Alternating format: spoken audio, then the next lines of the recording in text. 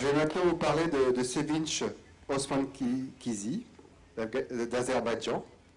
Elle a perdu son, père dans les années 90. Elle va nous expliquer un peu dans, quelles circonstances, euh, rapidement, si tu veux bien, euh, Sevinch. Euh, et euh, j'aurais une question importante à, poser à Sevinch, c'est quelles sont les étapes par lesquelles elle est passée pour sa reconstruction et quel était ce processus de reconstruction Well, thank you very much. Uh, first of all, I would like to uh, thank you for having us here. Uh, we're a completely new organization. As a matter of fact, we're still in the process of establishment, and it's an honor to be here. And I want to thank you personally. Uh, we met a couple of months ago in Baku, in Azerbaijan, and I have to say it was really an eye-opening experience to learn so many things and how much you've achieved in doing so many things for victims and families of 1989 crash. There are so many similarities for me between that crash and the uh, crash of helicopter, shoot down of helicopter in 1991 in Azerbaijan that uh, took uh, my uh, took away my, my father's life.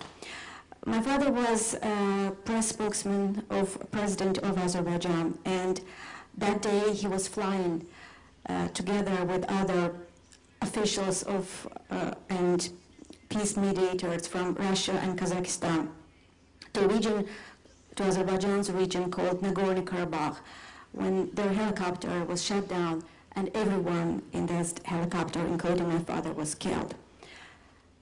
Me, myself, uh, I was, I've just started uh, to work at news station back then. I was working at news department, and ironically, I learned, I found out about the news that my father was killed from the news program.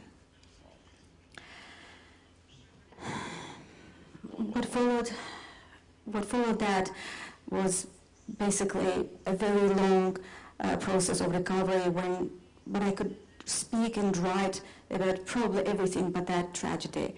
And it took me years to understand that probably there is no better journalist who can do something about that event, and that's when I started doing a documentary, and an investigation that found out a number of interesting facts, and one of them was that that peace mission was actually killed only four days before the peace agreement was about to be signed between Azerbaijan and Armenia. This is only one of the facts that we were able to find out. But of course, it was my personal story too. It was about my father. It was a daughter's investigation of the events, and I find this as a relief, probably a very small, very minor relief, that I could, was able to do something uh, for my father and for all the victims that were killed in 1991 in Nagorno-Karabakh. Vous êtes une, une journaliste reconnue euh, sur le plan international, avec une expérience dans plusieurs pays. Est-ce que justement cette expérience internationale pourrait aider les victimes du terrorisme en Azerbaïdjan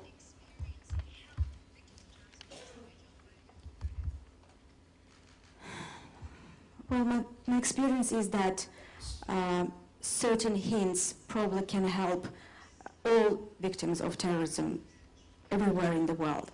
And I feel that I've been to both sides of barricade. Probably my colleague has the same feeling, who's also a journalist. When you're a victim yourself on one side, but you're also a journalist, and I get to see a lot of people who come, you know, with, to television with photos or documents. They're trying, they're asking you, can you please do something to sort of do something for the memory of our beloved ones? Unfortunately, this is not how it works in news media, and it's probably useful for everyone to know that a couple of things. First of all, there is something that we can help as victims of terror ourselves to help the journalists to find the story, to see the story, because role of media is really cannot be overestimated, and media can kill the potentially good story by its before its ignorance or misjudgment. Media can make wonder probably in a matter of days or even hours. So that's why it's important to work with journalists, for instance, to show the story in development. There can be no development at all. For instance, the case can be closed with no result. That is also news. Or always beware of commemoration, always be aware of anniversaries, of dates. For instance, I did a story for CNN about a journalist that was killed 18 years ago, and you would say journalists get killed nowadays too, why to run a story about someone, uh, an event that happened 18 years ago? The answer is simple because his, what would have been 50th year anniversary was coming up. So here we go. There's an angle to remember the person, but also to tell the story, to tell the events that took that person's life. So I think victims of terror should be aware of that and help journalists. The other thing is that I find that victims of terror sometimes are ashamed of their emotions. I also was ashamed of my emotions, and this is wrong. Uh, media likes emotions, media likes passion, and, and this passion is natural, it comes from our hearts. And we're not here to play, to, to pretend to be objective. We never will be objective, and we shouldn't be objective. We lost our loved ones. So let the world know this, and let our personal stories stop the world or stop the further killings of people. So, and the other thing is that take every opportunity to tell the story. There is no good venue or bad venue. Every venue is good when you use it to tell the story. Thank you.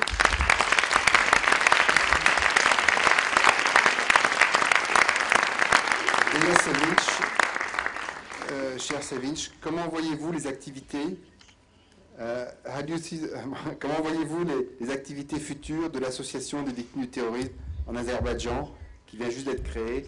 Euh, Quels sont vos prochains objectifs? Well, I'm a learner here. I'm new. I'm learning from you. I'm learning from you.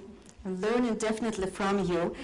And, and I think I will be, of course, I, I think the most immediate things we should be doing is to get the status of victims recognized, to think about how we, what we can do for the memories of the victims.